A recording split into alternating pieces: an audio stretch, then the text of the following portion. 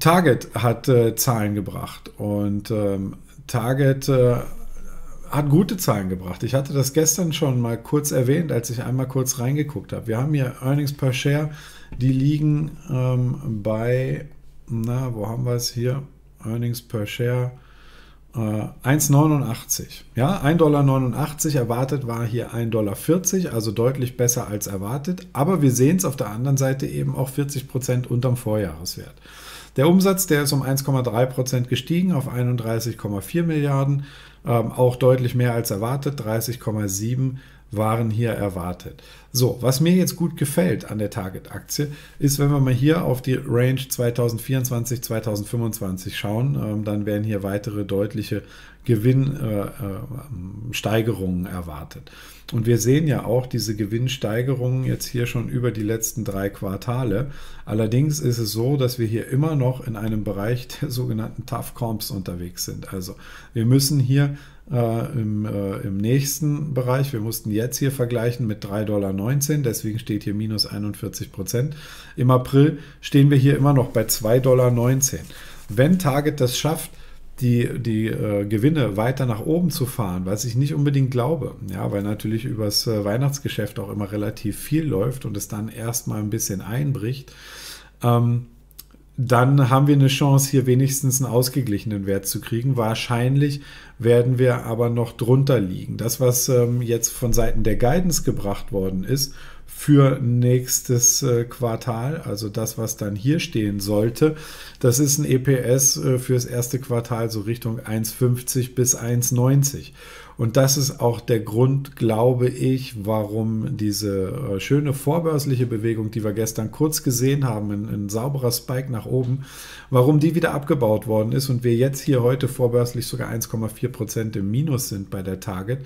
Ähm, ja, dieses EPS oder diese Gewinn pro Aktie mit 1,50 bis 1,90, der hier jetzt von Firmenseite erwartet wird, der liegt deutlich unter den 2,16 Dollar die die Analysten gerne gesehen hätten. Ja, ein äh, 2,16 Dollar, das wäre ungefähr schon wieder der Bereich des Vorjahres gewesen, aber anscheinend kommen wir da noch nicht dran.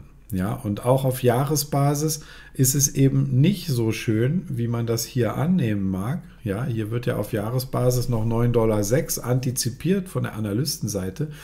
Ähm, hier hat äh, Target jetzt eine Range gebracht zwischen 7,75 Dollar und 8,75 Dollar. Also unter dem, was man gerne gesehen hätte. Und das ist natürlich ein Problem. Ja, ähm, dazu ist es für die Shareholder auch ein bisschen suboptimal. Hier ist also im letzten Quartal sind keine Aktien dazu gekauft worden, ähm, obwohl die Preise eben niedrig waren. Na, wenn wir uns das mal angucken, äh, hier auf Jahresbasis, ja, dann sehen wir hier im, äh, im Quartal die Preise waren nicht besonders hoch, ja, verglichen mit dem, wo wir schon waren. Hier oben bei 240 Dollar, jetzt lagen wir sie bei äh, 240 Euro, jetzt lagen wir so bei 160 Euro. Ähm, es ist trotzdem nichts dazu gekauft worden. Das zeigt, dass man unsicher ist, wie es in der nächsten Zeit weitergeht. Man vielleicht dieses Kapital lieber erstmal trocken hält, denn im Prinzip stehen für dieses Aktienrückkaufprogramm bei Target, was immer noch läuft, noch knapp 10 Milliarden Dollar zur Verfügung. Ja. So, und ähm, jetzt haben wir eben gesehen, der Ausblick ist schlechter als erwartet. Die Zahlen waren okay. Ähm, wir haben gesehen, dass wir ähm, äh, rote Zahlen haben bei der Gewinnentwicklung. Ja, und das ist vielleicht alles ein bisschen mau für eine Aktie. Ja, ich gehe jetzt mal hier auf die Kennzahlen. Ja, für eine Aktie, die jetzt hier mit einem 17er KGV bewertet ist für äh, Forward, also fürs, äh, für die Earnings vom nächsten Jahr. Ähm, wenn wir sehen, wir waren hier in den Vorpandemie-Zeiten ja, bei 12, 13. Okay, das ist schlicht und ergreifend noch sehr, sehr teuer, wie ich finde. Und ähm, wenn wir hier auf die, nicht auf die Forwards gehen, sondern ähm, äh, auf die äh, Trailing 12 Months, dann liegen wir sogar bei einem PI von 30, fast 28. Ja, also die, die Target-Aktie ist relativ teuer und deswegen kommt die auf jeden Fall erstmal nicht in mein Depot.